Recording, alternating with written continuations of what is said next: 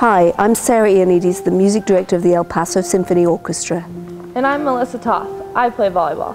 Most people think Title IX is just about athletics. Because equality is still an issue, women continue to be underrepresented in traditionally male fields.